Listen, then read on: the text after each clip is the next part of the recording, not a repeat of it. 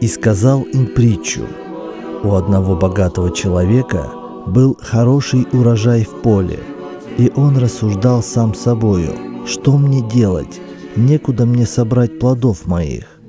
И сказал, вот что сделаю, сломаю житницы мои и построю большие, и соберу туда весь хлеб мой и все добро мое, и скажу душе моей, душа, много добра лежит у тебя на многие годы, покойся, ешь, пей, веселись.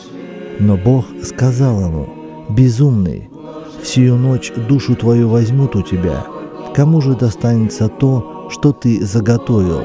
Так бывает с тем, кто собирает сокровища для себя, а не в Бога богатеет.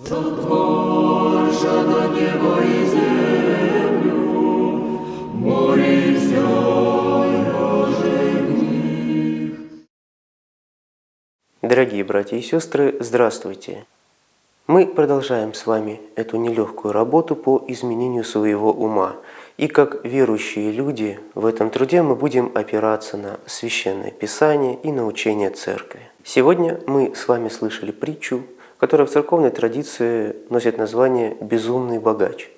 Но в чем же он безумен? Ведь действительно, он же не тратит деньги направо и налево – он не тратит их на безумное коллекционирование каких-то ненужных вещей и не живет в проголодь, при этом имея огромное состояние. Глядя на него, мы бы сегодня сказали, что он достаточно успешный бизнесмен.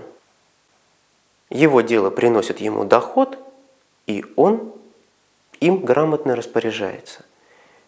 И что греха таить, мы же сами бы хотели сказать эти слова – Душа, много у тебя добра, ешь, пей, веселись. Ведь каждый второй или каждый первый занят тем же самым.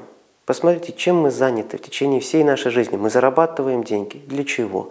Чтобы встать на ноги, чтобы поднять детей, чтобы иметь уважение в обществе и так далее и тому подобное.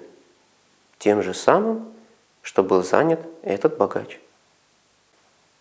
Но здесь есть одна вещь, которую, на которую нам нельзя не обратить внимание.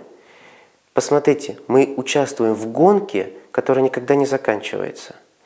Мы приобретаем новые вещи, но они изнашиваются, ломаются, устаревают, и мы вынуждены их менять.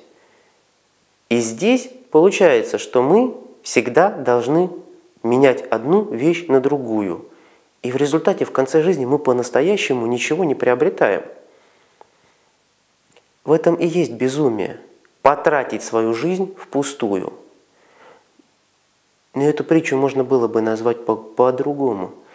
Не безумный богач, а безумный я, потому что в глубине души я тот же самый богач или как минимум стремлюсь стать таким же, как он. Но не безумие ли потратить единственную жизнь ни на что. А давайте подумаем, а есть ли у нас вещи, которые не пропадают в нашей жизни? И, как ни странно, ответ окажется очень простым. Знания, по-настоящему приобретенные знания, никуда от нас не деваются, что бы с нами в жизни ни случилось. Вера. Вера всегда есть у человека. Если вера куда-то пропала, значит человек не был никогда по-настоящему верующий. Вера помогает преодолеть человеку любую жизненную ситуацию. И в любой жизненной ситуации она только крепнет. Настоящая любовь. Любовь никуда не проходит. Она все переносит и всегда надеется. Вот эти вещи, которые никуда от нас не денутся. И значит, если мы посвятим свою жизнь вере, надежде, любви, познанию, эта жизнь не будет потрачена зря. Дорогие братья и сестры, хватит, хватит прожигать свои жизни. Давайте займемся по-настоящему нужными и по-настоящему ценными вещами.